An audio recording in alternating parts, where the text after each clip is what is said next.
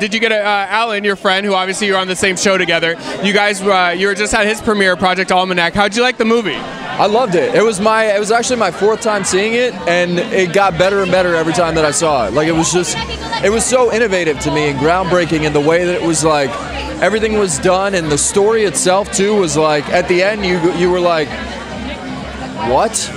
I need to see that again. So I did. I saw it four more times. Now, the whole premise of the movie is like, if you could go back in time and fix something, would you? Is there like one event you think back to and you're like, man, if I just had one more time to do it over, I'd be okay?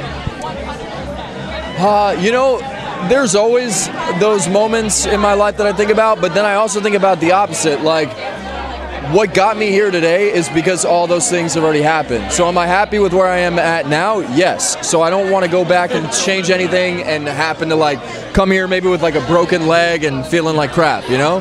So I don't want to change anything. The past is the past for a reason. Leave it alone. Exactly. And speaking of here, you're here at Lights Camera Cure. Uh, this is a great thing that we're doing for the Penn uh, the Penn State Hershey Hospital. It's for cancer awareness and money. Why did you want to come out? Why was it special to you?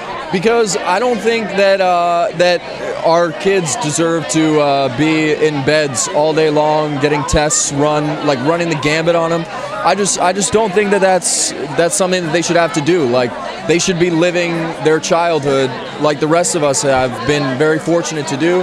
And so anything that I can do to help find a cure for this, I'm game. Now you're gonna have to dance today. Are you ready to dance? That's what it's all about. Like, do you guys skills? I'm ready to dance. I'm ready to. I'm ready to. I just don't know if that's like age appropriate. It's totally age appropriate. And you know, I'm glad because you're one of the only people so far that has said you're going to dance. Every other celebrity's like, no, can't do it. So I'm glad you who who said that? Like I'm gonna call people out, but a couple. Yeah, but I'm gonna off camera tell me, and I'm gonna go yell at them because make them dance. I know that they dance. Uh, lastly, uh, St. Patrick's Day was the other day. What green item did you wear?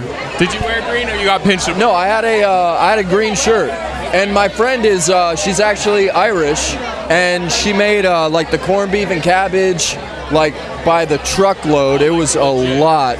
She also made like this awesome dessert that I don't know if it was necessarily Irish, but it was delicious. Yeah, it was great. I loved it.